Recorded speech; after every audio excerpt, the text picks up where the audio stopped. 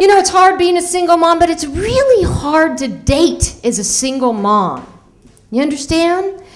Because after 30, friends with benefits means I get dental.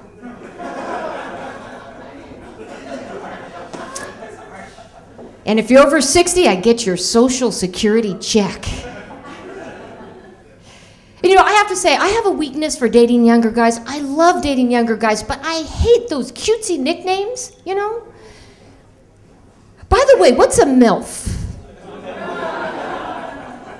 Because it sounds so cute, doesn't it? Little Milfy, little Milfy. Certainly less intimidating than that cougar thing that's going around.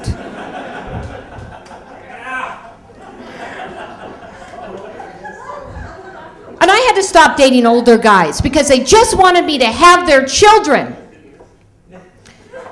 What happened to the good old days when they just wanted to use me for sex and leave?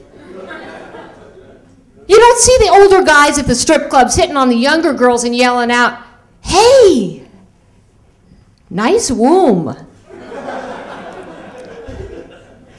I bet you'd make a great mom.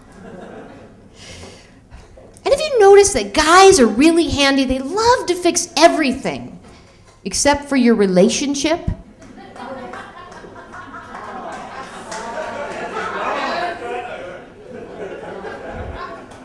Had so many things broken around my house that I had to start dating again. And this one guy said to me, he said, That was the best sex I ever had in my life. And I said, Me too. But you gotta leave because the cable repair guy comes here at four. Can you tell I've been married before? But I'm not bitter. I'm not. My ex was